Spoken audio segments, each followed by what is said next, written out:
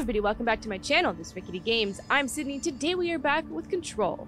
So we are here in the final DLC of the original game for Control. This is the AWE DLC, all the letters every time.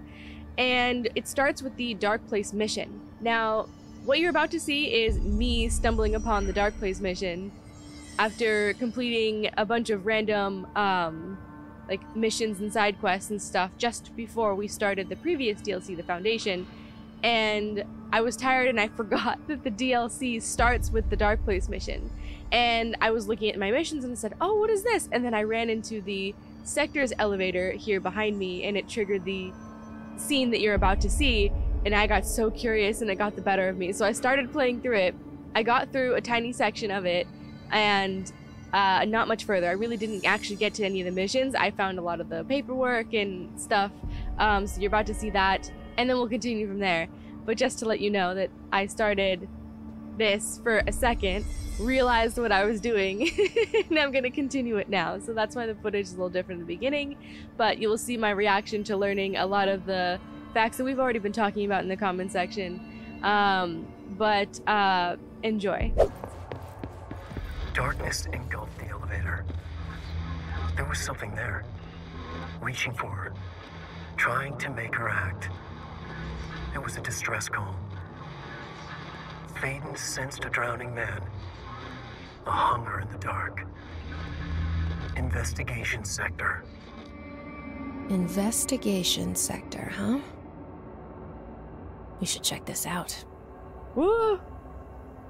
That that that was the dark place. Ooh, yeah, I forgot about that entirely. Yeah, you guys said that this was a part of like after the game. Ooh. Ooh, is this a new thing in the elevator? Oh, it is. Oh, we're going. We're going, you guys. Ooh, this is dark and creepy. Why did this get horrible? I can't even fit through the elevator. oh, well, at least the lights turn on. That's good. Director Hello? Mor Northmore. Ooh. Anyone here? Former Director Northmore is doing Guess his job. not. Well, we certainly found the dark place in the Bureau. Quite literally. Seems a lot more crowded than the rest of the Bureau. Missing agents. Mr. Kirkland. Wasn't he the one that went to investigate the Bright Falls incident? Here are latest agents confirmed missing. Presumed dead from the containment breach yesterday. Agent Jonathan Connor, researcher Ezra Cruz, Caroline Dempsey, Lindsay Malcolm, Charles Murray, Derek Shaw. Letters of condolences will be delivered to you to sign prior to sending them to their families. You will be updated as soon as additional confirmations are made. As per your request, a network engineer checked how many cases were backed up digitally. Unfortunately, a large number of active investigations were not yet archived, and the only hard copies of reports exist behind the fire break. They're lost, I'm afraid. The fire break? That's a thing. Oh, Polaris is showing us something. Bureau Tractor AI82-KE Supplementary Materials. Note, miscommunication led to a coroner examining the body of William Burrow. Burrow, William, male Caucasian. Case summary, a 33-year-old man found dead on his property per the police report. Remains obtained for the coroner's office also include blood, urine, bile, stomach contents, and bone fragments. Autopsy findings. Blunt force injuries to the head, lacerations to the left ear and the cheek, uh, blunt force injuries and extremities, dislocation of the right knee, complete avulsion of the right upper extremity with associated fracture on the right proximal humerus, extensive trauma, abdominal region, complete avulsion of multiple organs, including stomach, heart, liver, pancreas, kidneys, and portions of the large and small intestine, all missing from scene In conclusion, it is my opinion that Mr. Burroughs' death is not the result of a mechanical accident claimed by authorities. The removal of organs is consistent with an animal attack. Ooh. I wonder. Hmm, no, I think it's too much. I was gonna say the removal of organs reminds me of the removal of the heart that the cult of the tree did, but I don't think that's a thing yet. 2019. Yeah, it's not a thing yet. Cool though. What? Oh, what's this? oh, yes, that's right. Darkness engulfed the elevator. There was something there. A presence. Jesse Faden could hear it. A call. It was faint, reaching for her from a dark place. Faden was sensitive to visitations. She had them all the time. From her guiding star and the previous director. She was the perfect receiver. As if she'd been made for this. Faden paused to feel it. The force at play here. It was changing things around her, subtle, trying to make her act. Faden didn't like that. Her guide felt it too. Polaris didn't flare up in defense as with the hiss, so it wasn't all bad. Not a hostile transmission. It was powerful, but it was coming from far away, and made weak because of the distance. It was a distress call. Faden sensed a drowning man, a man desperate to escape. She sensed something else, too. A hunger in the dark. Not unlike the hostile resonance. Waiting. She knew that desperate acts can have grim consequences. It was this, more than the man's despair, that made her follow the call.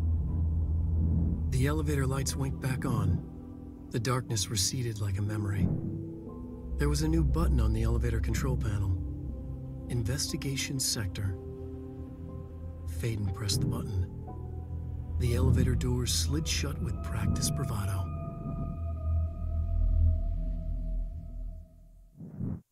Whoa. Okay, there's a couple of interesting things, and I didn't comment on it when we saw the vision of it by the elevator. Um, one, I mean, it's Alan Wake, so holy shit. He's also wearing his original 2010 clothing, so not yet the suit that we see in Alan Wake 2, which I wonder how he changes in the Dark Place. Um, the interesting thing, though, here, so obviously she says he says that she sees a vision of a drowning man. Obviously, could refer to a variety of things, but obviously Alan, right, who drowns in the lake, um, and all the people that drown in Cauldron Lake, right. Um, but Alan specifically, because he dives in and it's about trying to rescue Alan, right? Drowning could be a metaphor as well for like her brother who's comatose, he's lost potentially in the darkness, things like that. But I definitely think it's Alan, um, because of the the water reference. Um, how and when does Jesse enter the story from the writer's perspective? Like Alan Wake is writing and like so which book is this would be? So we know he writes three books to we that we know of. Like he was writing the one that he was experiencing in the original alan wake. Um i'm forgetting the title of it right now but the he he the follow-up to all of his alex casey novels this departure that's what it was. Um it was like the it would be you know his his way of like following that series because he closed the Al- the Alex Casey series. Um, Alex Casey like was he was done with it. He wanted out of that series, and Departure was going to be a departure from that series. It was going to start something new, and Departure was basically what became the events of Alan Wake, the first game. So is this writing with Jesse Faden as a character coming from Departure, or is it starting what we know to be Return and Initiation uh, from Alan Wake 2? So at the end of Alan Wake 1 and its DLCs, we understand that he writes Return, but Return cannot be completed without having written Initiation. That Return was too easy because he tried to just write himself out of the dark place And by the story rules and logic that the Dark Place likes to follow, it said, nope, that's too easy. You have to write trials into it. So the trials became initiation. Is Jesse Faden a character in the books the way that Saga is? It seems like it now, because she's written into it. I'm tripping, you guys. I'm tripping. I'm trying not to talk too long too, so I'm like, how many? I'm like, oh my god, my brain is like reeling with like, what? She's a character? Because like FBC does show up in Alan Wake 2. Are they like an entity that's like in the book? What's real? What's fiction? What's reality? I, I love it. This is cool. Okay. Of 2019. To whom it may concern, it is with great anger and regret that I tender my resignation as head of investigations for the Federal Bureau of Control. I do this in protest of the rampant disregard for my departments. My staff cannot continue to work in these conditions. Previous requests and warnings have fallen on deaf ears, so I must now rely on my actions to speak louder than my words ever could. I blame this situation on our who has routinely ignored my requests for assistance in reclaiming the parts of investigation sector lost to the loose inside. I will never forget the screams of brave agents begging for us to open that firebreak. I will carry that shame for the rest of my days. The has failed his agents. I shall never forgive him for that. Sincerely, William Kirkland. My guess is the director has failed his agents. Um, that that I mean, who else could it be? I forgot to zoom. Um, my guess is it's the director who failed it. I blame the situation on our leaders, are the board, something like that. But something loose inside investigation sector, and it's been lost.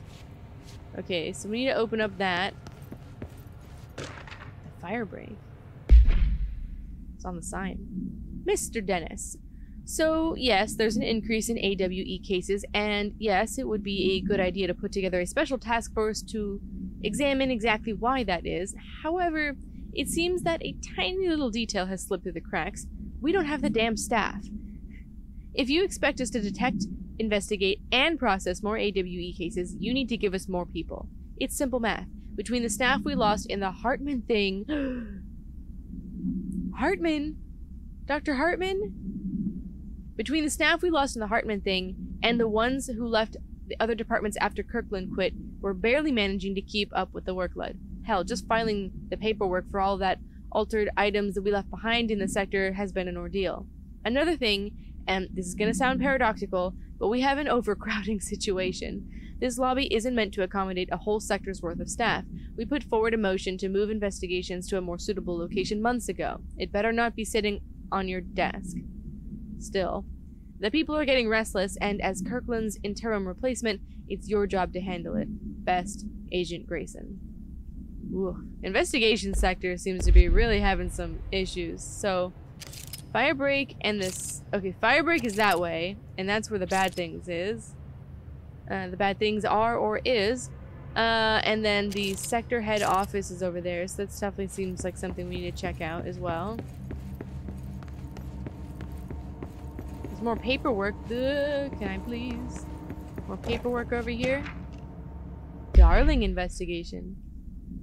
Official findings report. Read Dr. Casper Darling, internal slash confidential.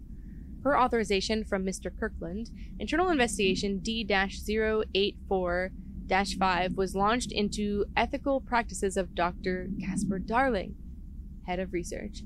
Despite the accounts of anonymous regarding inhumane treatment of a currently housed in the Bureau, our official findings regarding this were inconclusive.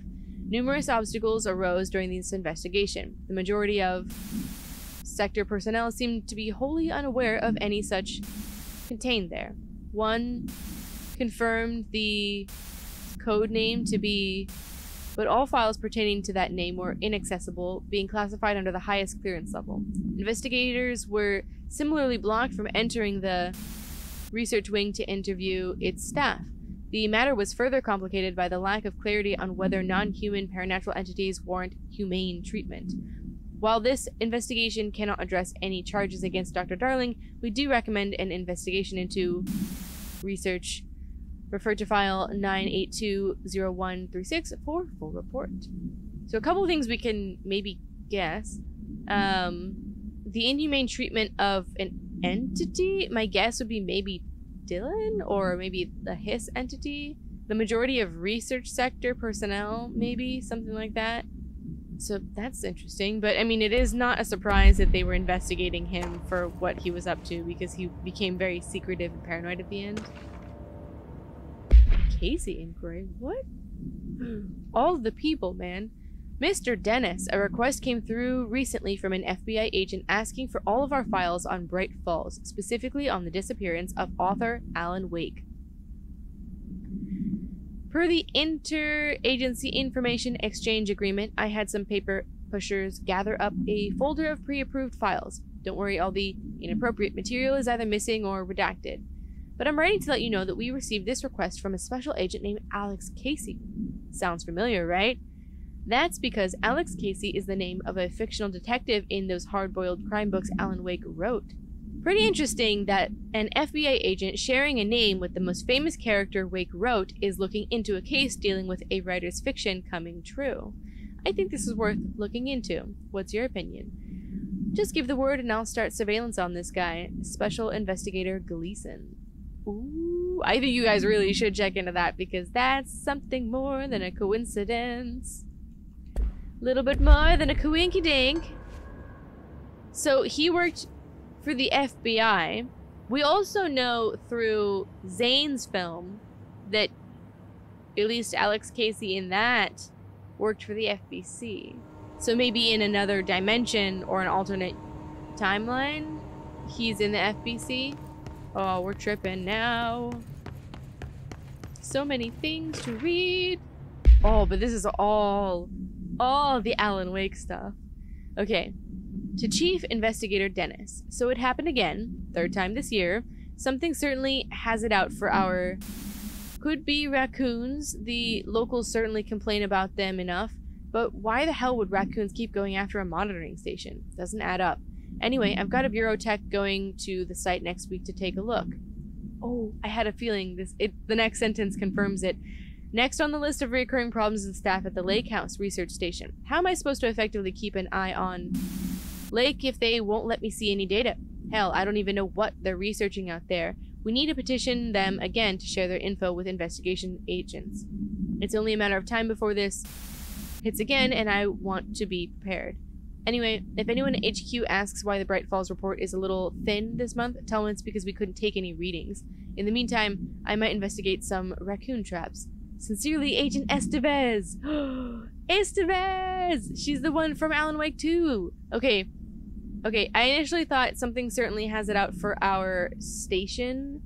Um, and I thought they were talking about the Lake House station, but then they say next on the list is the Lake House station, so something else. So it must be the Bright Falls um, research station that they're talking about, the Cauldron Lake one. Um, how am I supposed to effectively keep an eye on Cauldron Lake if they won't let me see me any data? I think we know that's probably for certain what that is. Um, a matter of time before this, I don't know what that would be again. Hiss is not the word for it because that's not at Cauldron Lake. My guess would be Dark Presence, um, you know, something to that effect. Interesting. So we're getting the answers that we were kind of looking for in the first control, or the, the base game control. My goodness, the writing. Underhill. Ooh, okay. Official findings report. Read Dr. Rhea Underhill. So she's the one with the mold who was kind of a stuck up asshat. I respect her for her stuck upness and her kind of I'm gonna do what I want kind of attitude. On the other hand, she was an asshat, so bit of a double edged sword there. Dr. Rhea Underhill is a professor at the University of Woodrow in the United Kingdom, where she teaches biology with a focus on botany. Dr. Underhill once worked with the Bureau as a parabotanist stationed in the research sector of the oldest house. She served with no incidents or demerits and is praised by those who formerly worked with her, including Dr. Darling. Dr. Underhill has no known connections to paracriminal organizations, or any record of breaching her NDAs since her leaving the Bureau, her civilian behavior has been ideal, with the exception of an ongoing personal relationship with Dr. Darling that appears to have begun during their time as co workers in the research sector and has revisited intermittently ever since.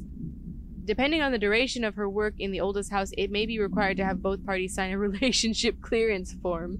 This investigation has found no compelling reason to deny Dr. Darling's request to offer Dr. Underhill an interim position with the aim of finding a solution to the mold threshold issue. Refer to 7 refer to file 7 8 5286 for full report. Okay, so one of you did mention in the comments that Dr. Underhill was Dr. Darling's girlfriend, and I read that comment and was like, huh, that's kind of weird phrasing. Maybe they were just referring to the way that he like gives her special treatment because he does. We read a lot of papers in that underneath area where she was, that pit area, um, that of uh, of other researchers basically being royally pissed that she was getting special treatment and funding and their departments were not. Um, we also know that Dr. Darling did ask her to come back after she quit um, because she didn't basically like being told um, how to do her job essentially, and she was like, "Fuck this! Like I'm out." And surprisingly, no grudges were held against her by Doctor Darling, which you kind of would expect from a guy like him. It makes sense now, though. They had a thing going on, and that commenter, thank you, because I looked at that. I looked at that and was like, "Huh, interesting," but it's real. Oh, it's so Dr. Darling, he likes the stuck up Miss Underhill. Dr. Underhill, we won't take her title away. So he likes being told what to do, is what I'm hearing. we don't need that one. Um, interesting. Not surprising in the slightest, by the way. Kirkland, I am growing tired of your blatant attempts to lay your incompetence at my doorstep. I know you want this to be true, but you are head of investigations. This failure is your responsibility. What did you think would happen holding a dangerous specimen in investigations? The containment sector exists for a reason. They are better trained and better equipped for this type of work. In fact, they are admirably taken on certain AWE monitoring responsibilities that your staff are no longer capable of. This happens more and more now. And don't think your petty internal investigations have gone past my notice. You are a worm. Everything I've done has been for the benefit of the bureau. Of the bureau. The prime candidate program only failed because of Darling. You are both failures, plotting against me. You are traitors, but the truth will emerge out of you. You are choosing to become my enemy, Kirkland. You don't want to be. Zachariah Trench, Director of Federal Bureau of Control. Former Director. Thank you. Um, this is interesting. So Kirkland was essentially doing carrying out these investigations into the various staff on his own. It seems like, uh, including one on Doctor Trench or Doctor Trench, uh, Director Trench, former Director Trench. Um, this language though makes me feel like this is the hiss trench coming through because you are a worm feels like something very hissy to come out of his mouth. Also, we know the longer things went on, the more the hiss took over Trench. Um, and he became much more angry and lashed out at a lot more people because of the hiss was in him. So I think that might be where that comes from. I mean, he also just seems like he doesn't like people challenging his authority anyway, so it could be that too, but likely hiss influenced or exacerbated by. Ah.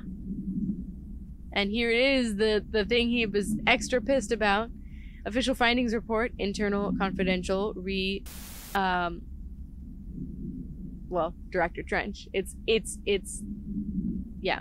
Per authorization from Mr. Kirkland was launched into the of Director Zachariah Trench. A recent change in witnessed in Director Trench, including aggressive when with other staff has been observed. However, this investigation is aimed at interpreting this issue rather than proving it. Notable between Director Trench and Dr. Darling has been witnessed by numerous Bureau staff. Although declined to meet for an interview on the matter, witness accounts suggest their arguments center around Dimensional Research Wing and the kept inside.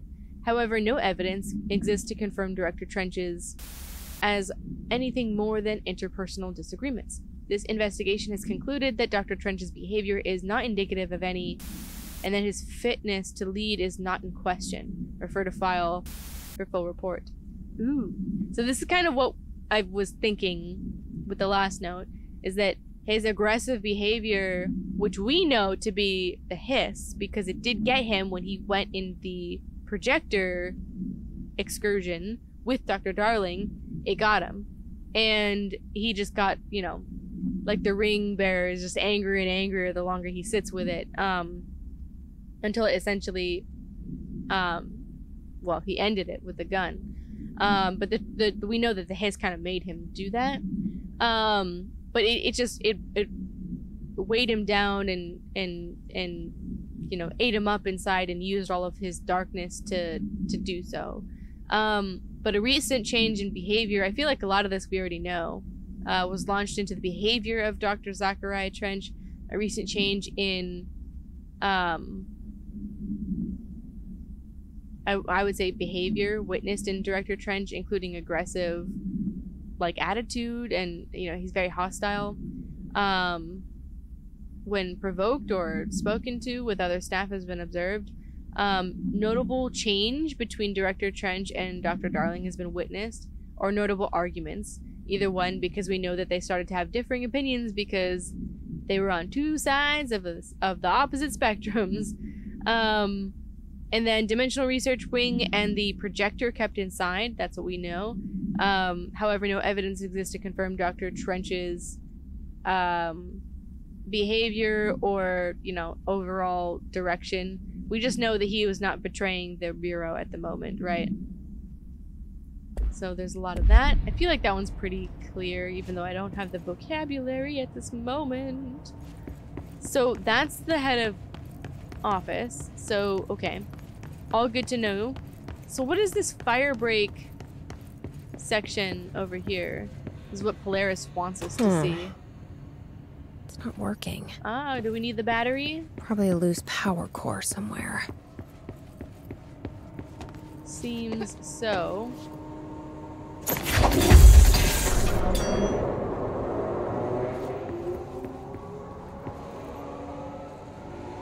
That like kind of worked and kind of didn't.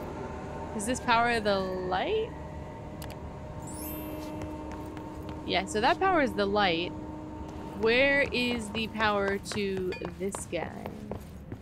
So it goes over there?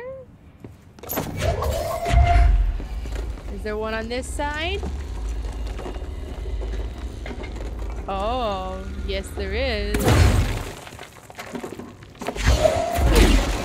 Move out of the way. I need in this door, thank you.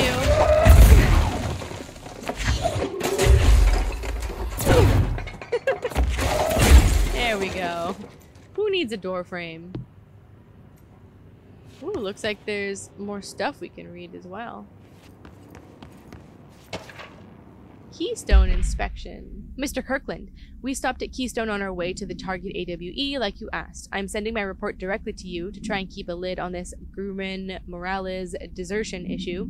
We didn't find any sign of them here. Given their records, it is possible they've switched teams like you suspected, but I don't think that's the case. An event definitely occurred here in Keystone, and I think Grumman and Morales got caught up in it. The entire population has vanished into thin air. Reminds me of the ordinary case, but that was just adults if I'm remembering the file correctly. This is different. I think our guys are casualties, not traitors. If it was an AWE, it seems to be over. We walked through the whole town, and the only strange thing we noticed were markings on various buildings. Two overlapping circles with a dot in the shared space. Could be unrelated. I'll show you the pictures when I get back. In the meantime, you should send a team out here to cordon this place off and maybe get the comms guys working on a cover story. Sincerely, Agent Keenum. I think that two circles with a dot we've seen on one of the doors in the motel. If we haven't seen it in the motel, then it was definitely in the Ocean View Hotel that we saw in Alan Wake 2, but I'm pretty sure it's in the motel. Interesting. Should I take this battery with me? Just in case. I'm glad I'm doing my duty as director and destroying the place as usual. Oh! Booyah! Now that gate should open. Nice. And we got some papers. In-depth investigations. Oh, there's a lot to pick up here. Bureau Tractor AI82. Oh yeah, so this we read about this a little bit. Um, it is not in Bureau custody. There was no containment procedure known. A Frank Elk tractor, olive green, dried blood on the grill when last seen. Item is capable of vocalized responses or growls and unmanned locomotion. Considered highly aggressive and dangerous. This reminds me of the. I, was it a tractor or probably like a bobcat thing that came to kill us in Alan Wake 1?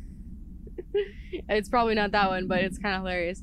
The item first came to the Bureau's attention after the death of William Burrow, the owner of Burrow Farm outside of Trenton, Texas. Local authorities arrived on the scene after an employee found the mutilated body of Mr. Burrow beneath his tractor. Police arrived and were immediately driven away by the tractor.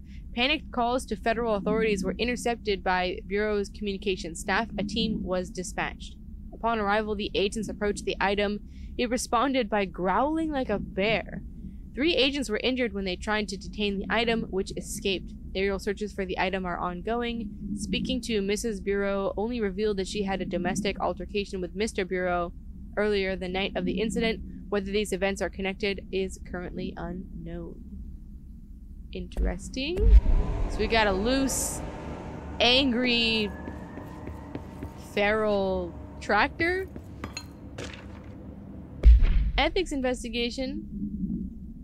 Official findings report the Prime Candidate Program, internal and confidential. Per authorization for Mr. Kirkland, internal investigations P142 9 was launched into the legality of the Prime Candidate Program by the Federal Bureau of Control. Since all known subjects relevant to the investigation used executive privilege to decline interviews, very little first hand information was gathered. However, anonymous sources and documentation declassified by Mr. Kirkland both paint an alarmingly clear picture of the systematic and were brought into the oldest house and placed under examination, testing them with the aim of appointing one as director upon maturity. This program has produced no successful cases and only resulted in the traumatic of paranaturally inclined not only is this in breach of the Ash Act, but it flies in the face of basic human. This investigation team unequivocally the prime candidate program and recommends that it be immediately. Refer to 9820136 for full report. Ooh. So this is interesting to know, and I think it confirms what we already knew. Um, the prime candidate program created by the Federal Bureau of Control created by Doc- director Trench. Um, and then Mr. Kirkland, both uh, anonymous sources and documentation declassified by Mr. Kirkland both paint an alarmingly clear picture of systematic. Torture is not the word, but abuse, um, trauma, uh, you know, force um, as kids or candidates were brought into the oldest house and placed under forced examination is the thing I could think of maybe um, because we know this is what he did with Dylan, uh, possibly other candidates. He said that one through five failed, so that means that they brought in at least five prior candidates to Dylan and Jesse. We know that Jesse they purposely left out of detaining her at the bureau, um, but they kept her brother. This program has produced no successful cases and has only resulted in the traumatic harm of uh, paranaturally inclined subjects, people. Not only is this in a breach of the Ash Act, but it flies in the face of basic human decency, humanity, rights. um, so the investigation team is unequivocally unequivocally condemns the can- candidate program and recommends that it be terminated immediately. Is my guess for the, the fill in the blanks. Um, so I mean, they obviously find a lot of fault with it. That it's not ethical in any way. That it's harming the subjects. It's doing more harm than good, and it's taking perfectly fine people and damaging them. Um, which we know to be true because of what happened to Dylan, right? So Dylan was, you know, a normal kid, had different abilities, and they pushed him and forced him to his limits, abused him, and mentally fucked him up. And all to the point where he was basically ready to give up on everything, which is why he left let the hiss in. And that's pretty devastatingly sad. And they didn't seem to care one bit. It was in the name of research. Sadness. Official finding report, incident number A49. The purpose of internal investigation X39 7 is to examine the containment failure of specimen SI 1 that resulted in the deaths of agents. An inspection report of the containment equipment three days earlier showed no faults. Investigators suspect human error to be the cause, yet no department has provided any evidence to support this. Technicians were able to recover the researchers' notes on the specimen from the internal network. On the of the specimen began displaying sharp increase in aggressive cross-referencing that date with various logs found only two events inconsistent with the sector's daily routine. The air filters were changed, and an hour prior to the incident, a civilian named Alice entered the sector regarding an unrelated investigation. See interviewed number 65F124. Given the connection to the same AWE case, it is likely that Mrs. Wake's presence is relevant to the specimen's escape and to the investigation is ongoing. Refer to file 6230721 for full report. Ooh. So I was originally thinking this might have been Dylan, but it has nothing to do with that. I think it has to do with Hartman, maybe, because they mentioned that Hartman, there was an incident with that. And if they're mentioning Alice Wake, Alice obviously belongs to that name, as we only know of one Alice. Um, that's so interesting. And they're trying to obviously mark out Wake because Wake is the is the key word there. So Alice Wake and then Mrs. Wake's present presence. Hmm. Ooh, interesting. Ooh, we're finding the things. Ooh, we got a checkpoint here. So that's good. So we can reclaim this moment. Woo! Okay. Hell yeah. Okay. Now that you're caught up to where I'm caught up, we can continue. So yes, I literally have seen absolutely nothing, as you can see. I got here and panicked and realized I am diving into another DLC in the middle of the other DLC. And I didn't want to do that. I want to focus on one at a time. I'm So- no detective, but something definitely happened here. Whoops. So here we are. Let's do this. I'm very, very excited.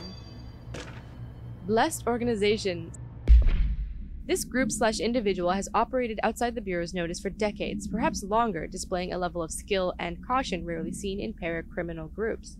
A review of past cases has found various mentions of their activity over the years. In 2016, a production company called Blessed Pictures was connected to an altered item case, as well as the death of an agent from exposure to illicit paranatural materials. In 1994, a Los Angeles based public speaker named Chester Bless was involved in the illegal use of an altered item. In 1988, a business called Blessed Repair and Service was suspected of involvement with an object of power case, perhaps even creating it. None of these businesses or individuals have ever been located. However, their connection to appearances of altered items and objects of power is too direct to be considered circumstantial. An arrest order has been issued for any persons believed to be involved with the Blessed organization. Refer to file 7390922 for full report. Okay.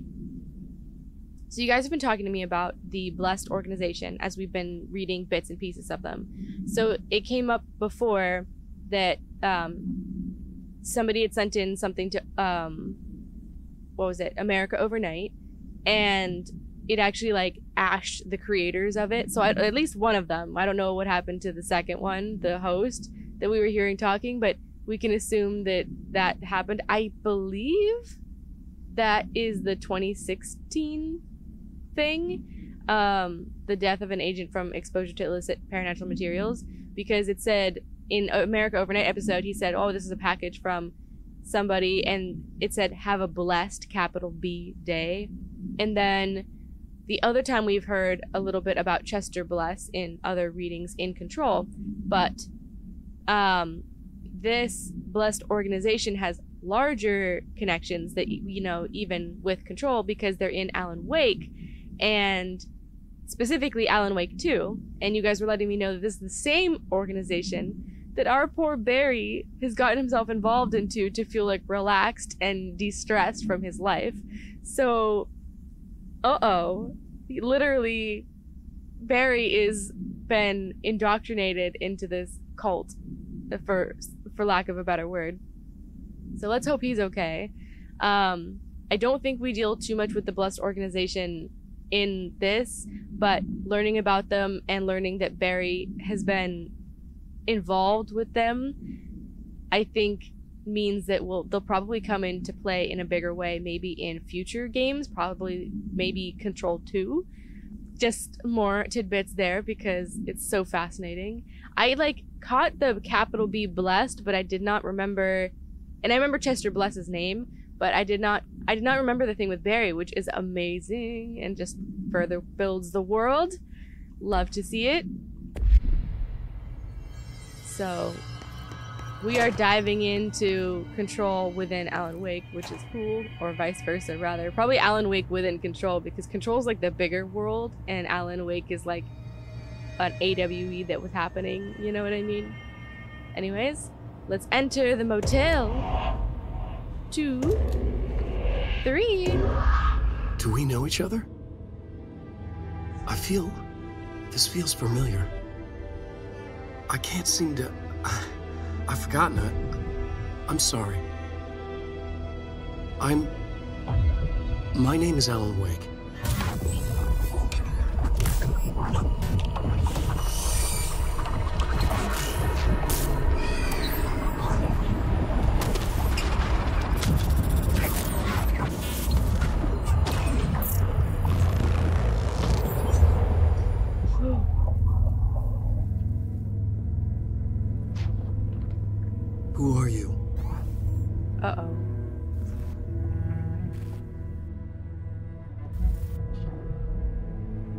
Are you? Do I know you? I'm your friend Tom. Tom Zane. There's nothing to worry about. Tom. The poet. The diver. You, you look different. That was just a, a role, a character. The protagonist I played in my, my old film. I'm a filmmaker. An auteur like yourself. We're working on this together, remember? An artistic collaboration.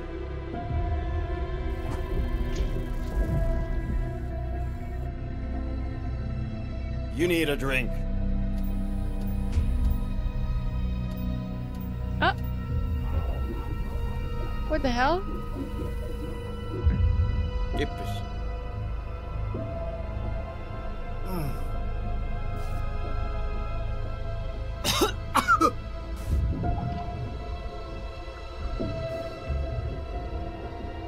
Endless. Darkness. Nothing holds still. But we're very close now. You've been writing.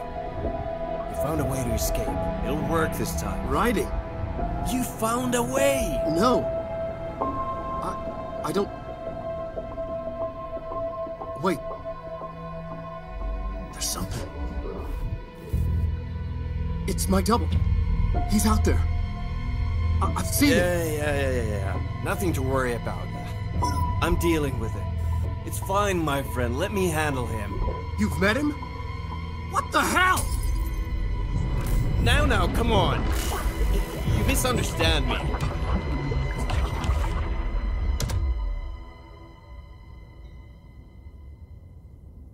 Through the door? That was Alan Wake, the writer who went missing in that AWE case I read about. Holy shit. What's he doing here? Okay. Couple of things.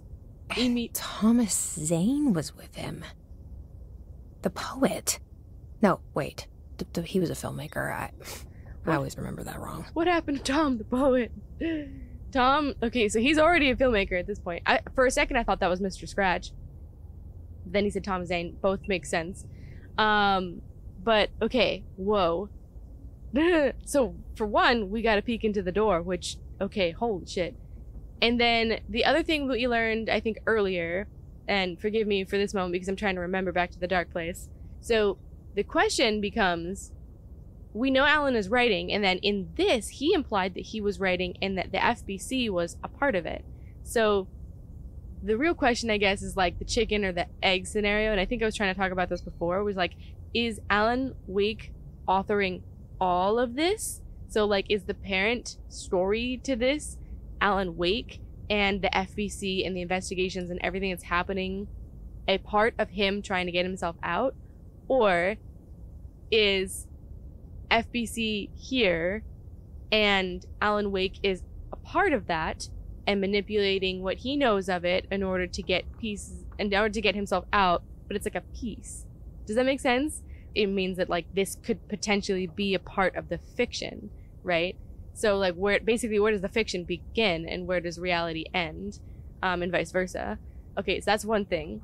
And the other thing is, is that we saw Night Springs, which we already know to be a, a whole thing with this, but we saw Dr. Darling in Night Springs. So uh, it confirms one that he's alive. Well, alive.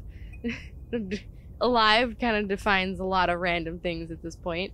Um, he is at least existing. He is not dead. Um, and he is stuck in the astral plane that we know. So I think that's confirmed. It, but maybe in Night Springs itself. So that would be significant because we know that like Alan himself also got stuck in Night Springs for a second with American Nightmare. Now American Nightmare sits in this weird little spot unto itself that's like kind of connected to the main story and kind of not. What American Nightmare adds the most, I think, is context to the outside world because we hear a lot more through the radio about Barry and Alice and what they're up to. While it's kind of a weird loop in the dark place where he gets stuck in this episode of Night Springs, um, the radio that we hear continues the world that we know. So, like, Alice um, goes into the filmmaking and the uh, photography exhibition, and um, we know that she, like, it plants seeds for her Dark Place exhibit, and it talks about Barry and what he does after the events of Alan Wake, and he becomes the manager to the old gods of Asgard. And um, so, like, that is, like, one of the things that, like, links, you know, the timeline in that we know of but all of this is to say, Night Springs is coming back, we know, because that's going to be one of the DLCs to Alan Wake 2. And maybe Dr. Darling is going to be in that. So that Alan, maybe Alan gets to revisit Night Springs or the world of Night Springs and maybe find Dr. Darling in there because he seems to be stuck in Night Springs. Um, so that's that's something. And then the last thing I wanted to mention was um, Thomas Zane obviously we know his whole thing, but it's interesting to see that this is the beginning beginning ish of their collaboration because we know that that was the big part of Alan Wake 2. Um, it is interesting that Alan and Thomas Zane both are wearing Alan's original outfit from 2010. I wonder what happens like for them to change it because Alan gets his like John Wick makeover and then um, Thomas Zane goes to town with his makeover and um so that's a whole thing as well but wow there's so there's so many things. I'm gonna try not to talk for like ever but holy shit. So this is our door. Yeah i didn't think so. All our doors. Okay so it's like night. Ooh what's going on out here? The dark place very quiet too. Alright. Oh! Oh, that's kind of fucked up. It kind of did its own three rings. did they all open? Two of them opened. Holy shit. Uh-oh. A TV! Yeah, turn that off. Wait, wait, wait. I know that noise. What the heck? Shut it. We like peace and quiet around this motel. For some reason. Okay. Did anything else change before I go messing with it? Nope. Okay, okay. Oh, wait. Hi. What is this? Ah. In threes, always. Okay, so what three things change? This. Yeah.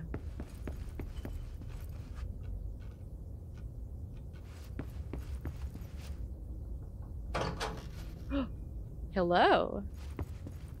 Oh, keys. Oh. Well, shit. We're just breaking the motel this time around. Okay, so that was spooky. Dr. Emil Hartman, devoured by hungry darkness, became the thing that had been Hartman. Broke loose, killed everyone it could, lurking, roaming, waiting. Then something else came. A resonance. The thing that had been Hartman went through another change. Oh god. Ooh, so we get echoes of Alan throughout this whole thing. Oh no, but it's okay. You guys did tell me that this deals with like Hartman and the fallout of like whatever happened there. So you're telling me that Hartman got taken over by the darkness, and the darkness changed him into something, and then he got extra fucked up by the hiss. I didn't like the guy, but damn. Oh, that's brutal. Oh, he's probably gonna be the damn boss or something, isn't he? Oh, I don't know if I'm looking forward to a darkness hiss manifested non-Hartman Hartman. Welcome back. Ooh. Ooh. No other bridges? Oh, what the fuck? Why? Oh, I want to go, but at the same time... Okay, this is what we're gonna do though. So... Wait, it's broken. I do have to go. Oh, oh, oh, oh. I take it this is where we have to... But this is also broken. Damn astral spikes. I do see you. Alright, we're, we're, going to the small bridge with the yellow landing pad, evidently. Um, okay, but I was gonna say... Is there blood? Oh god. Land safely. Um, you guys are telling me that there are still like kind of little things to find. Um, so I'll probably do those in the next episode. There's more stuff with the cats. There's more, um, you guys said there was like a side mission that, like, it's not really a side mission, but it's like it's not on, it's not collectively like on the, um, our missions page, but it is something that you can do. So like more little things to find, and that there's more stuff in the Panopticon, I think. Um, somebody was mentioning. So I'll do more exploration in the next episode, just so you guys know. Uh, somebody got smushed. Oh, and like smushed, smushed, like pancake smushed. Oh, that's not great. Why? Creepy, damp, and abandoned. Why would Wake want me to come here? Yes, why indeed? We don't need that. We don't need inferior threes. There's... Why is there an explodey thing here? No walls? Okay. There's no picture. in this... Okay. Interesting. I love setting off all the detectives. What is Polaris trying to show me?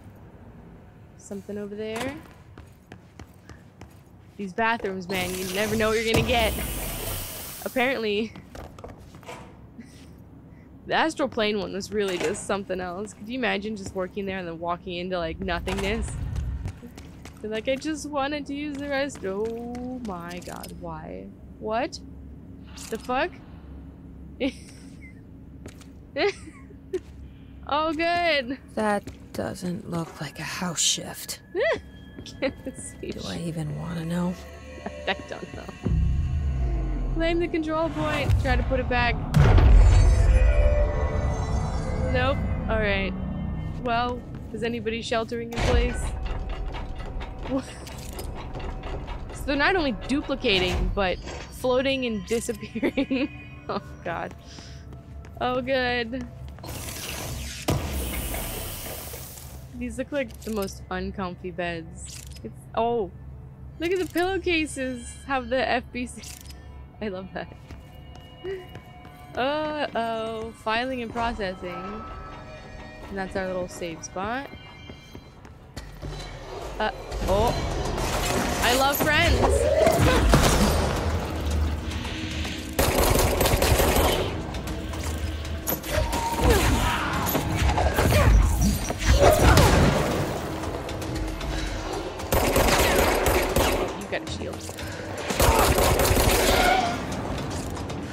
behind me. Yes. Oh, hello. Sorry to shoot you in the garage, buddy. Get taken out. Whoop. I took my a vending machine to myself. Oh, hello. Howdy. I love warm welcomes that are fiery with bullets. Bye. That was almost a Wilhelm scream. of course, the hiss are already in here. Stabbed. Stabbed with whatever I just threw at him. Whatever these things. Little satellite, tripod, leg. Murder, casual. Okay. Well, there's a lot of documents. Hello. My feet gossip at night, and now I have to wear shoes to bed. Sincerely me. Yes. Oh, wait. That's right. Dr. Emil Hartman was desperate. The Federal Bureau of Control had stolen his life's work. This was his last chance, his final experiment. What he'd been too scared to do before. Hartman dove into the lake, was taken, devoured by hungry darkness, became the thing that had been Hartman. Only an echo of him remained, Fragmented impulses on autoplay. Violent, bloodthirsty darkness in the driver's seat. Emerging from the lake, the thing was captured by the FBC. Brought in, contained, studied. The thing broke loose, killed everyone it could. The FBC fell back and sealed the sector. The thing was alone in the dark, lurking, roaming, waiting. Then something else came. Not darkness, but similar enough. A sound. A resonance. It shouldn't be a surprise. If there's one, why not another? The darkness inside the thing could have been immune, could have resisted, fought, could have been passed by, passed through with no effect. But it didn't and it wasn't. Maybe it had grown weaker over time, not aged. It was timeless, but weaker with no link to its source. A metamorphosis followed. The thing that had been Hartman went through another change. The fact that they call it the thing just tells me that something horrible happened. He like mutated. Um uh. So okay, that confirms what we already knew, but still horrendous nonetheless. The the thing is so ominous. Ugh, it's the title. I saw another thing over here things upon things upon things. Um, oh my god, that was...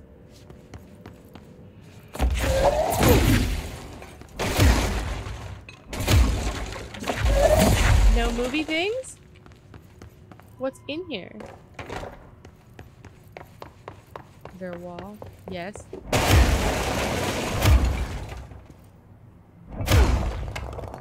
Yay!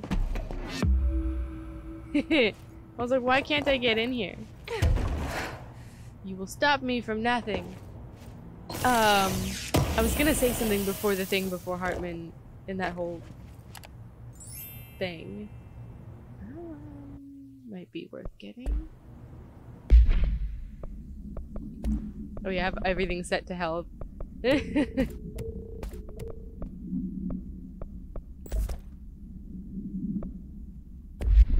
There you go.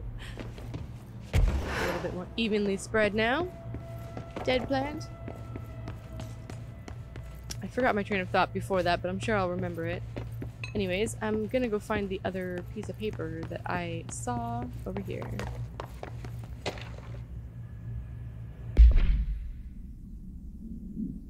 Oh man. Oh, why why dive into the lake? I guess he Oh. I guess Emil felt left out.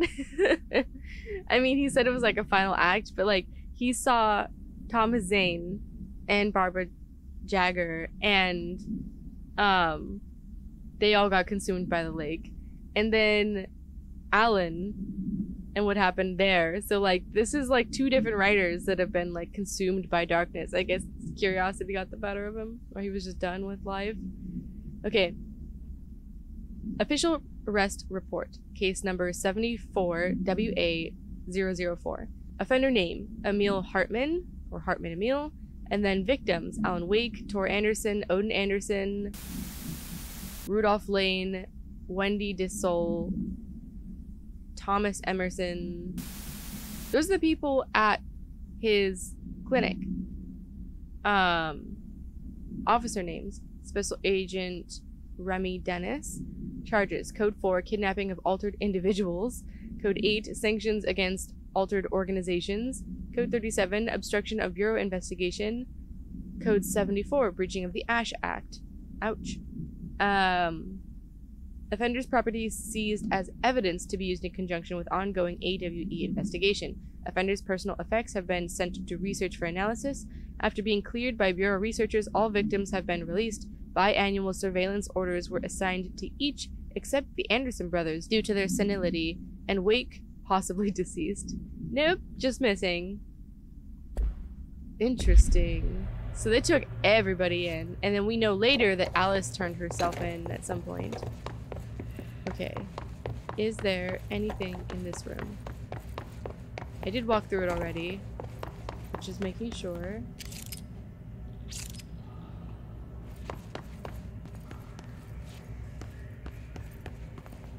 Service tunnel. Ew. This darkness is blocking the door. Oh So god, you brought it out. Now I have to deal with an interdimensional noise and sentient shadows. oh no. This doesn't count as a powerful light source, eh? Light burns it away, huh? It sense. does. Oh, that's amazing. I just wanted to check. Yes, yes. Not that thing.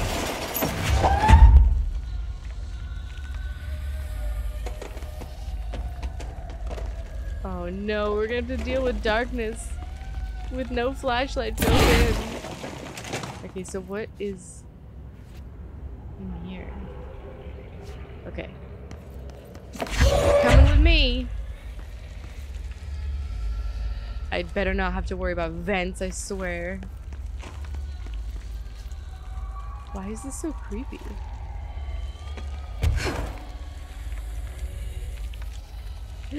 Ew. So what the heck is in here? Oh, I see it. I see it.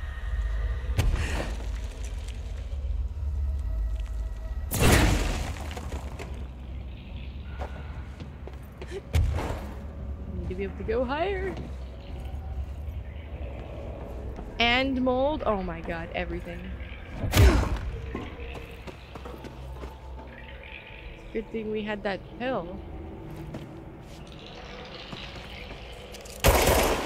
We can eradicate this shit.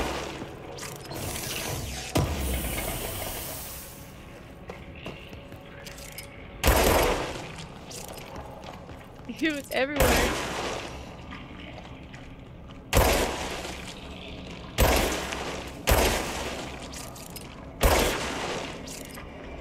Ugh.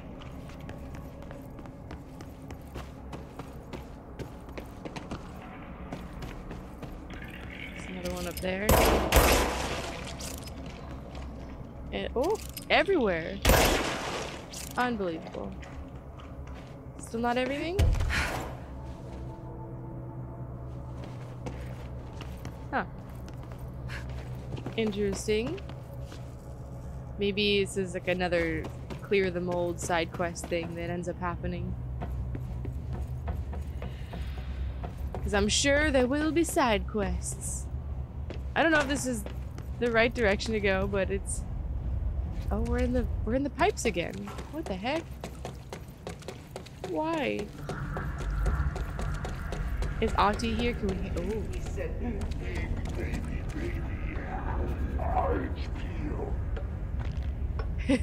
what?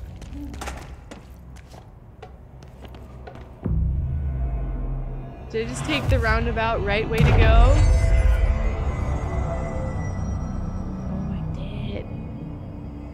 I was gonna check the other corridor, but it looks like it was blocked. Oh, God. Oh, we're back to the darkness. I didn't mean that. Scared myself. So this... No. Okay, that's the way to go. So this... Aha. Okay, I, I see, I see. We have to reset it. I'll take my flashlight back. Flashlight, not flashlight. My work light. Better be fucking useful. Oh, it's dark. Oh, it's dark. Where's The that thing. The sound made darker, the darkness made louder. Hartman was stretched, like a worm through time. The third thing was a monster. Now he crashed out of darkness toward Faden. He did not. He did not do that. Stretched. Okay, and... Oh, God. Get trained. The resonance carves its way through the thing that had been Hartman, vibrating, remolding. The sound changes the darkness, and the darkness changes the sound. They both changed what remained of Hartman. They all turned into something else. A third thing. The sound made darker. The darkness made louder. Hartman was stretched. Stretched as anyone when seen from out of time, like a worm through time. Almost an Ouroboros, a spiral, a maelstrom. The gravity well of a black hole, twisting inward, tightening, taking you deeper and deeper to the bottom, the heart, and through to the other side. The third thing said, When you hear this, you will know you're a new you. He said, We build you till nothing remains. He said, Under the conceptual reality behind this reality, you must want these ways to drag you away. He said, Baby, baby, baby, yeah, orange peel. The third thing was a monster. He'd tear apart any ordinary person crossing his path. Now he crashed out of darkness toward Faden. There was nothing ordinary about Faden. Except where she's from. oh. He keeps saying stretch. I'm just imagining like Spider Hartman. I hope not. And I regret throwing my flashlight through the window now. Uh huh.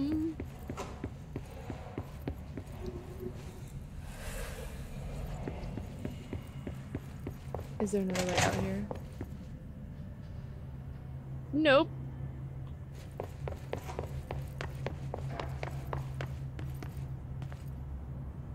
Nope.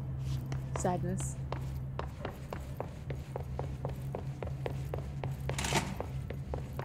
Can I get it back?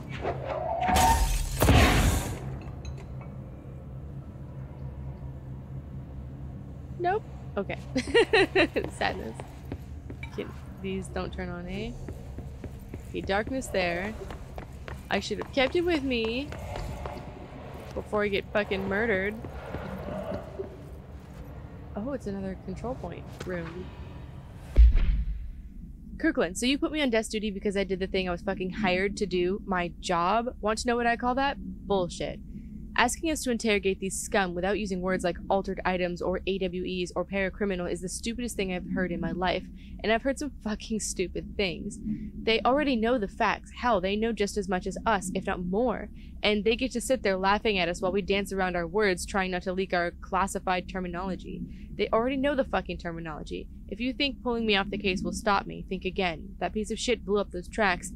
He killed those people, all to make a train turn altered. We have him dead to rights, and you need to let me back in that interrogation cell so I can get him to flip on his buddies. These people are terrorists and deserve to be treated as such. This won't stop unless we stop them. You can go ahead and put me on suspension and see if that slows me down.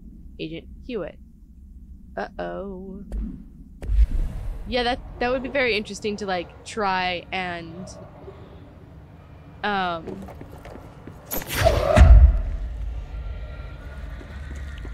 Oh, there's more. Um, to try to try and interrogate somebody without saying Agent what you're Fisher, doing. Day six inside the motel. Surveillance methods are as follows. Fiber optic cameras slid under the individual room doors. Motion detectors in the lobby area. Tripwire triggering a flash camera across the main entrance. Even fingerprint powder on the front desk. Results are varying at best. Mostly just inconclusive and unusable. The footage is corrupted. Sometimes even the equipment is damaged. I don't know how exactly. I, uh, I think this place is making fun of me. That's the only explanation. I, I can hear them laughing and screaming behind the closed doors. I can hear the call bell go and ding multiple times a day, but when I look, there's no one there. I know I'm supposed to stay out of sight, but I've seen the doors closing just before I can catch even a glimpse of anyone or anything. They're messing with me. Whoever they are. I think... Wait, shh. There's something. I gotta get this. Gotta get the cable out. Come on, you fiber optic fuck. Cooperate. Okay, there we go.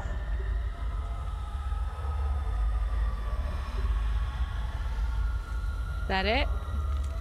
Oh boy. All right. Oh, That was faint, but I definitely heard movement coming from the hallway. we're seeing some have movement. finally caught one. Ha! The recording better work this time or I swear to God I'll... What? Hello? Who's there? Oh, shit. I'm with the FBC. Move away from the door. I have a... Where's my...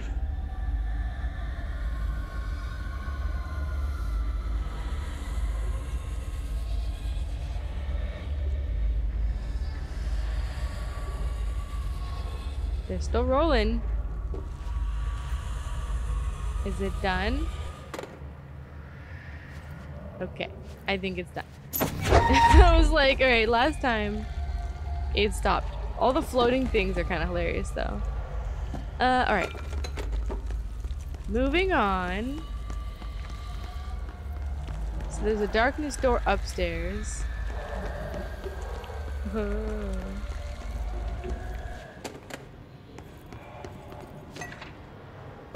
NASA.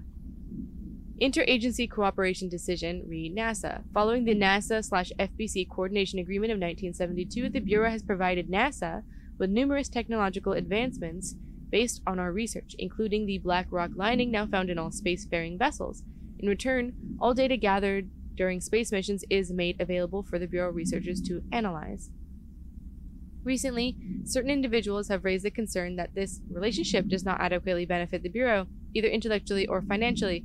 A thorough examination of the costs accrued by both organizations has shown the expense of NASA's recent launch of the far outweighs any spending related to the processing and delivery of black rock. From its medium Earth orbit, the will provide the Bureau with unparalleled resource for remotely monitoring and photographing AWE sites, a resource that would be lost if the partnership ends. It is the opinion of this committee that maintaining a cooperative relationship with our colleagues at NASA is of vital importance. Refer to file 381 4812 for full report. Oh, so they launched what, a satellite to basically like help keep an eye out for um like Well, so they launched a satellite basically to take pictures remotely. Interesting. Something more over there, Polaris. It's so fucking dark. And there's a thing upstairs as well. Oh. Can we get a permanent flashlight that floats above our head? That would be useful. We just kind of magic that to happen. Black Mar- Oh, I hear Ahti. David Gleason, Special Investigator, Remy Dennis, Chief Investigator. Official findings report illegal altered item market. A black market hub specializing in the trade of occult talismans, relics, and other assorted ceremonial objects, as well as genuine altered and paranatural materials, was raided in Czech Republic by a team of special investigators. Unsuccessful attempts by suspects to escape using altered items resulted in numerous casualties and prevented the Bureau from questioning all participants.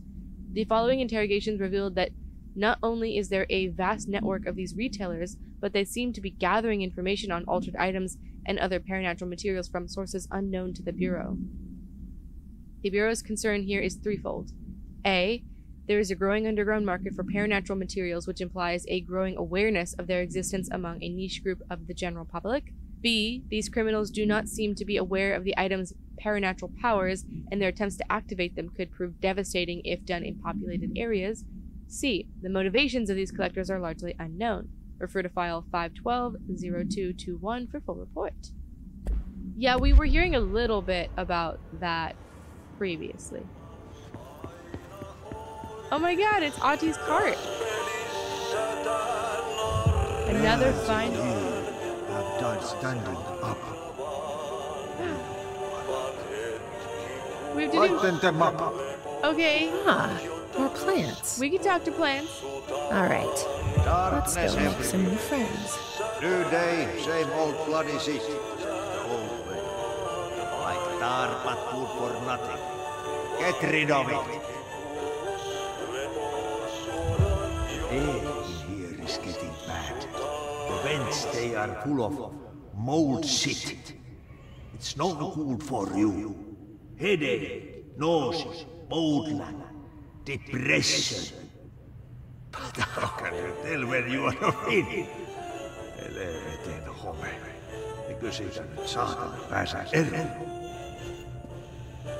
Okay, so we cleared one of the rooms of mold. That was right. That there was like a another one of those things. Okay, so talk to plants, eliminate darkness in three different locations, and eradicate mold in three different locations. We'll keep our eyes peeled. What the hell happened to my light? I dropped it over here somewhere.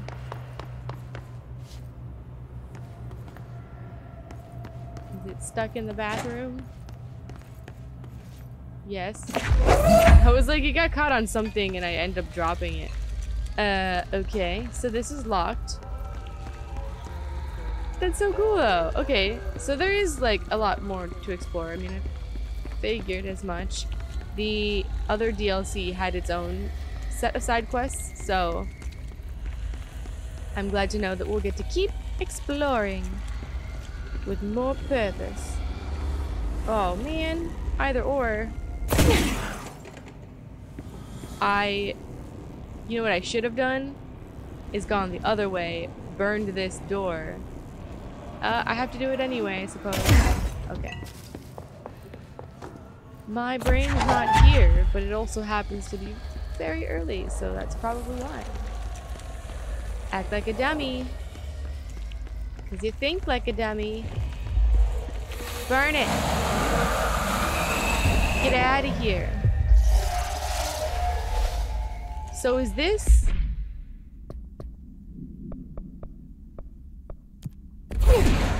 Not one of them. Alright, so let's turn the lights on. Uh-oh. Okay, so... Uh-oh.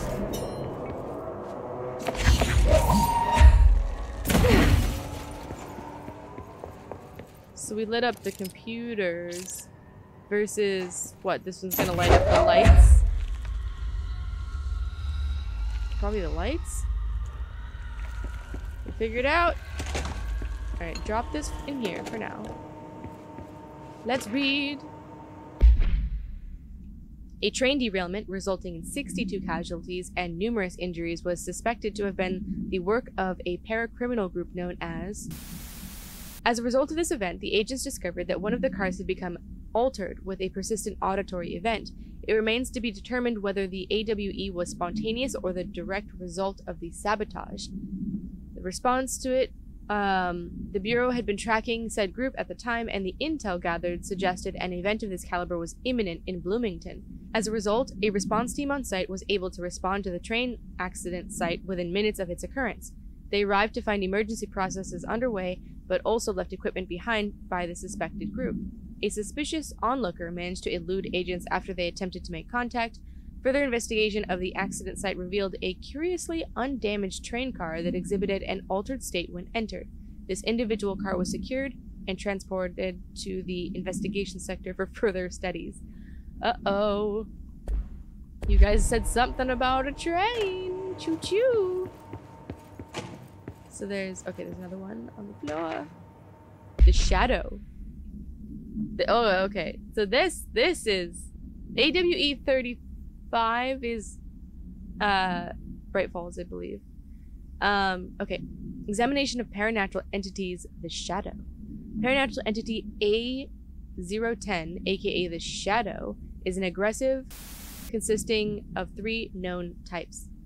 Type A, the localized manifestations of sentient, capable of occupying organic and inorganic material as well as exerting over its surroundings.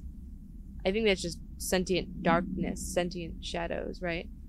Type B, shaded individuals, human bodies by the shadow. These individuals become noticeably more aggressive, but do seem to retain of their previous selves. Research is ongoing as to whether this condition is reversible. That's taken, right? Human bodies taken by the shadow. They do t- seem to retain like pieces of themselves, but not entirely, because like we know that the taken like uh, basically like repeat the lines and phrases that they used to say in their normal lives not taken. Um, type C, shaded objects similar to type B, except inanimate objects are solely to be used as destructive tools. So objects that are taken and they float and try to kill you. Each type seems to work towards a shared goal, possibly targeting certain individuals, see AWE 35, which may imply a shared link to a intelligence.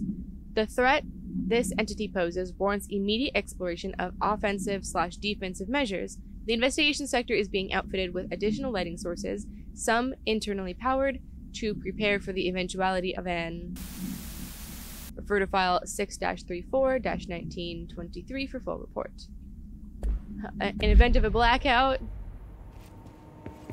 Okay, so this powers the button. And then we have this.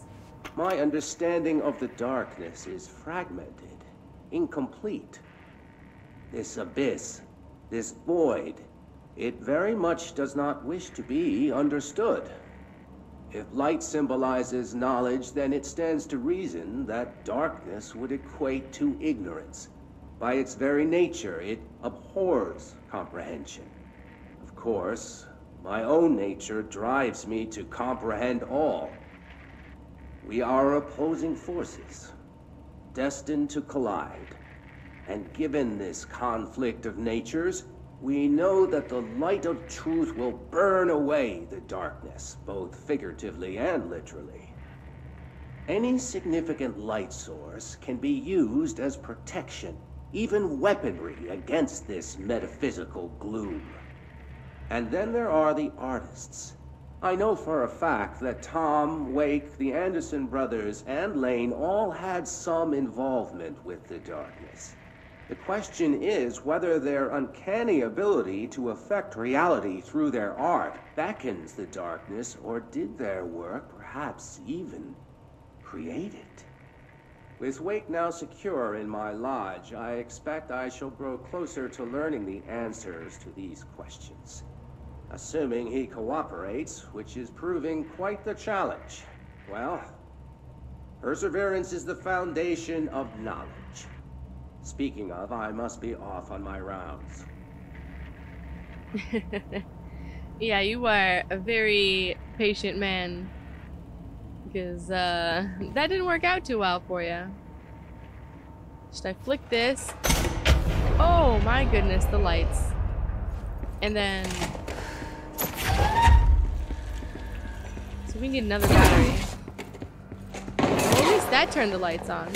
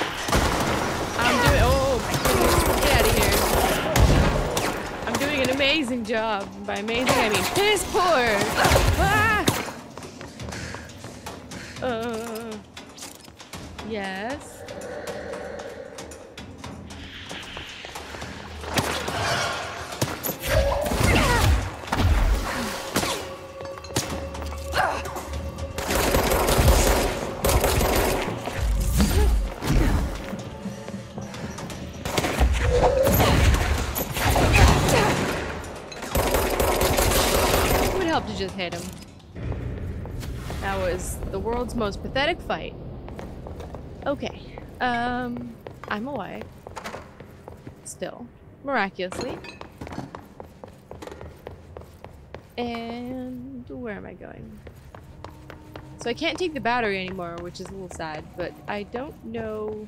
I mean, I'm sure I'll find another one. But the question is, I guess, what is this power? I thought it would be the lights. But I guess not.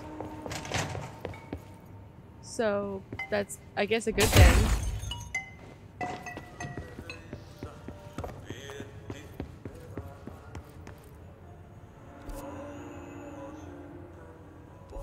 Alrighty, moving on.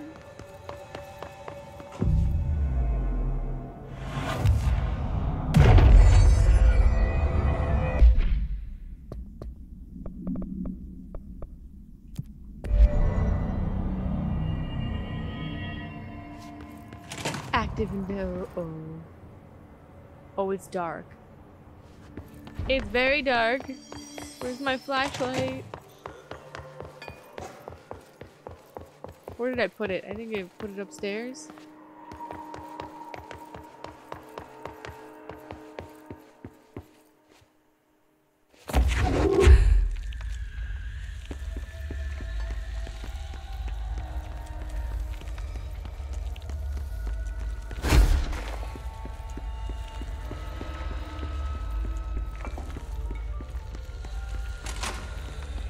Darkness, here we come. Uh, I don't feel right. Something in this darkness is draining me. Yeah, it's not good. So, like, literally draining me, though. Because, like, it was taking my energy away. Rut-row. Okay, we need some batteries in a bad way. Do we see any off the top of our head? Nope.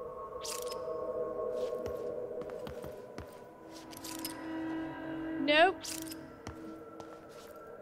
Alright, little guy, you're with me.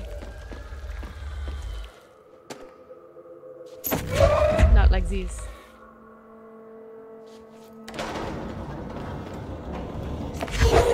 I'm so inhibited with like one arm doing this. Oh fuck. Oh fuck. Now what? Oh fuck. What is that? Oh my god, it is like Spider Hartman. On elevator, time to go. Oh, it's so much worse. Fuck, he's right. Get out of here. So you don't like the light? I can use that.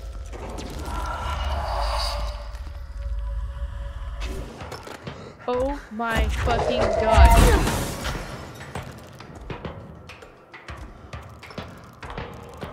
He is like fucking. What's up, bitch? Does this do anything to him? It does. Like a bit. So it makes him go away. Okay, we need more. I need more. More batteries. Or is it the one battery that I have to like take out? Oh no, there's more.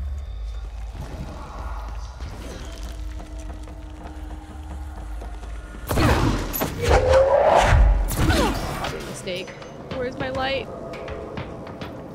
Well, shit, we're doing this the old-fashioned way.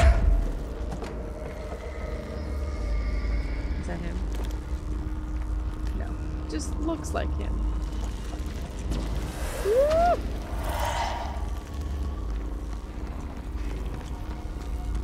Where was the other one?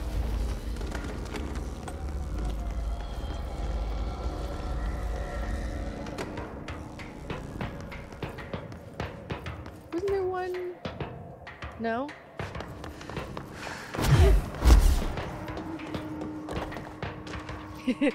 While we read, vending machine AI81-KE, none known. Testing in the investigations sector is currently ongoing for containment.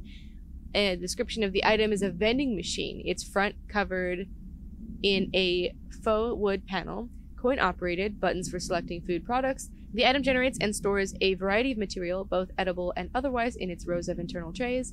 Initial testing suggests the item reacts to the mind of the individual in closest proximity and will produce whatever they subconsciously desire. I want this thing. Can I have it? Attempts to cause the item to create living have consistently failed.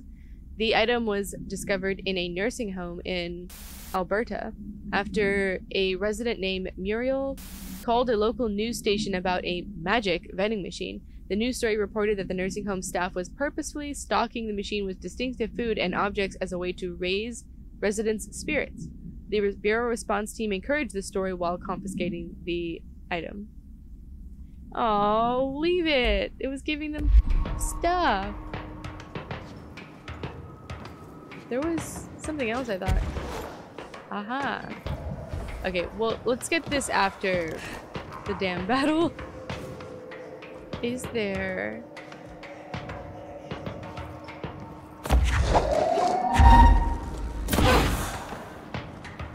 Hell yeah.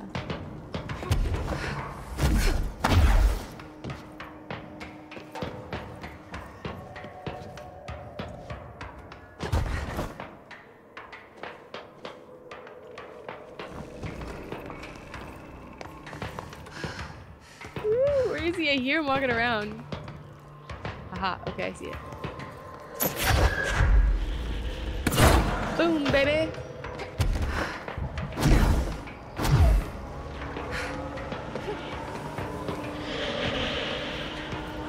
I see you, I see you, I see you.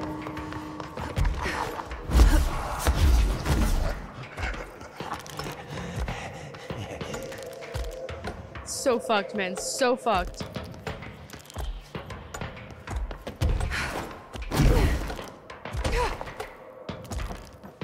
Flashlight? What is?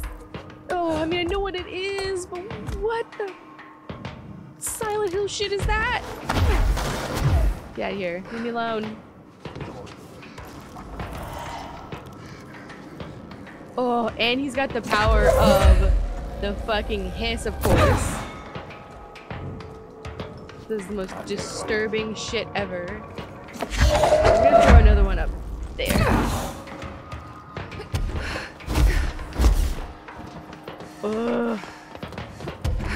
Fucking thank you. Toss it over there. We're, we're gonna we're gonna do this in a big strategic circle or square rather.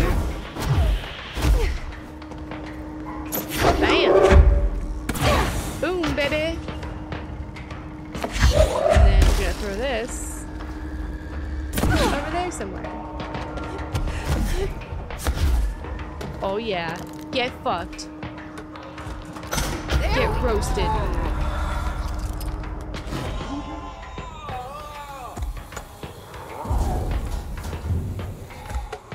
Yeah, Oh, how do you like that? He's in the pipes. Yeah. Exactly. Oh my god, that's so fucked up. Man, what the hell? Who knew Hartman was gonna be? okay.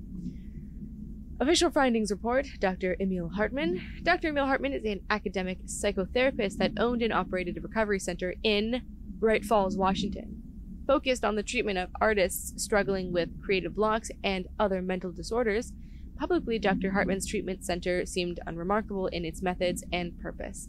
Privately, however, Dr. Hartman was abusing his patients in order to utilize any latent, I'm gonna guess, para-utilitarian abilities they may possess with the aim of shaping reality? Shaping to his own benefit, which earned him a Class 2 paracriminal designation. Note for more on the link between artists and their ability to reality through artistic mediums, see file shape reality. Investigation has proven that Dr. Hartman's illegal endeavors were conducted alone. After being approached by the Bureau during the investigation, he displayed no remorse or intention to cease his actions. Dr. Hartman was taken into custody, evaluated, and released months later, having been determined a negligible threat. His medical license has been permanently revoked. That's why he went to the lake. Refer to file 7 12 8557 for full report. Well, I think we know why he went into the damn lake. Um, okay, the Airborne Rangers. So you guys were the ones that shot me to death almost. Field Hiss entity, Hiss corrupted ranger, airborne. This subgroup of Hiss corrupted rangers has manifested the ability to levitate, similarly to Hiss elevated agents. However, these airborne Hiss Rangers display no telekinetic abilities and simply continue to use mundane Bureau weapon- weaponry. This evolution, being so similar to the elevated, possibly indicates that Hiss can share permutations through a type of network or perhaps osmosis. However, the fact that this development in Hiss Rangers has only been observed in the investigation sector may in- indicate an environmental factor is responsible. They could be responding to an altered item or other paranatural element found only in that sector. Or perhaps this is a natural progression of the Hiss Ranger phenotype. Not enough time has passed to determine a conclusive trajectory of development for each of the Hiss manifestations, assuming that any such trajectory exists. Refer to file for full report.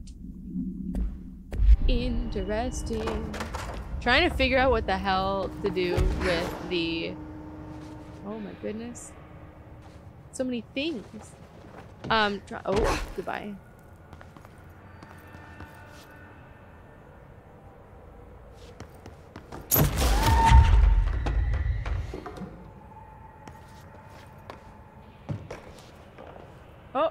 I'm in it. Um, okay. Ocean View Motel Observation Report. An excursion into the Ocean View Motel and Casino discovered a previously unseen door in the lobby hallway. This door featured a spiral shaped marking designation door. Similar to the other doors, it is locked and cannot be forced open. Alice Wake, a person of interest in Bright Falls AWE, refer to file AWE 35 for details. The former wife of missing author Alan Wake, a suspected para-utilitarian, and contacted agents Shaw and Dempsey of the investigation sector using a phone number given to her in 2010 in accordance with civilian outreach protocols. The call resulted in Mrs. Wake being brought to the oldest house for an in person interview. For a full transcript, refer to file on 2017. The excursion into the motel occurred later that same day. Determining whether this was basic synchronicity event if Alice Wake is responsible for its appearance or if the door itself relates to AWE 35 is paramount. she should be returned to the oldest house, possibly even taken into the motel itself to confirm if any other changes occur.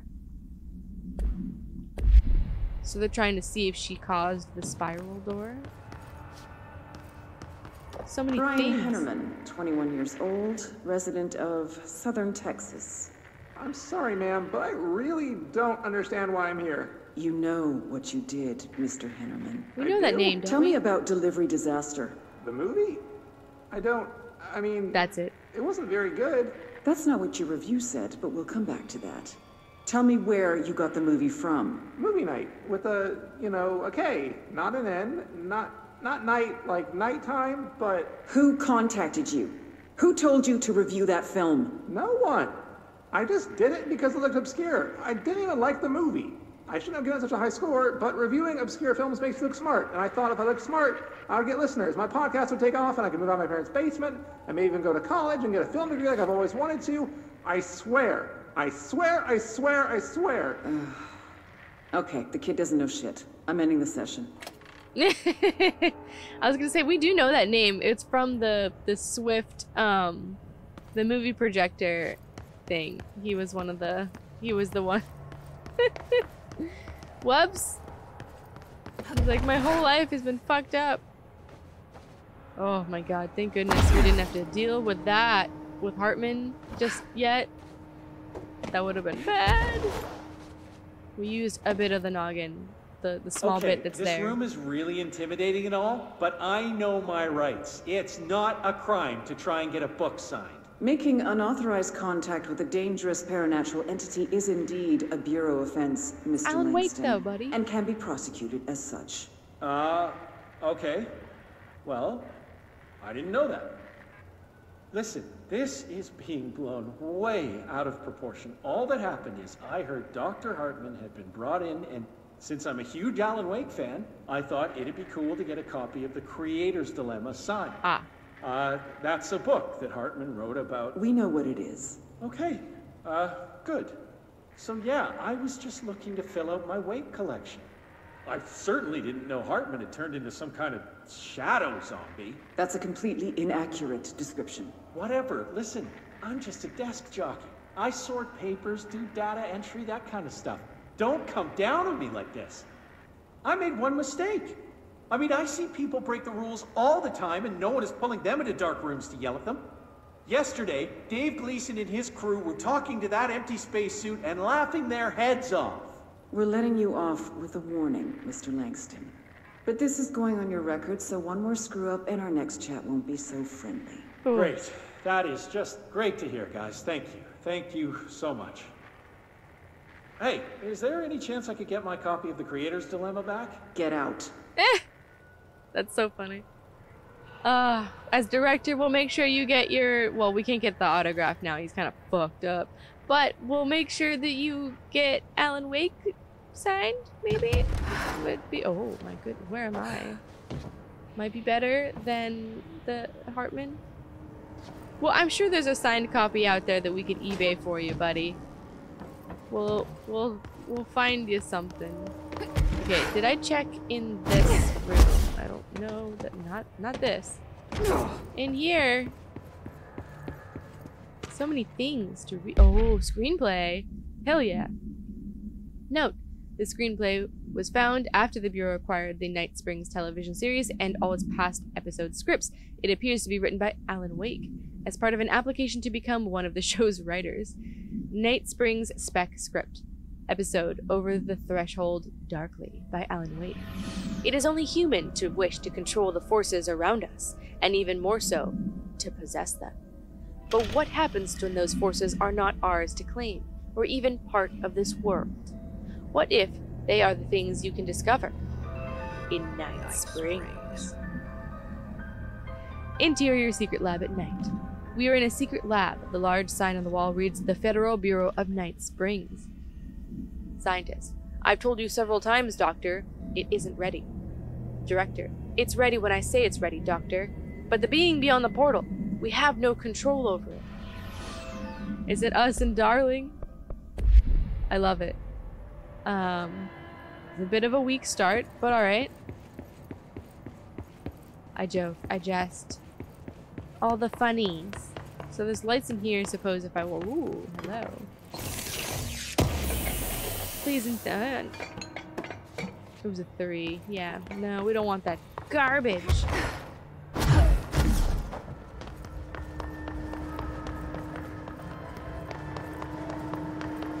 Do I hear something?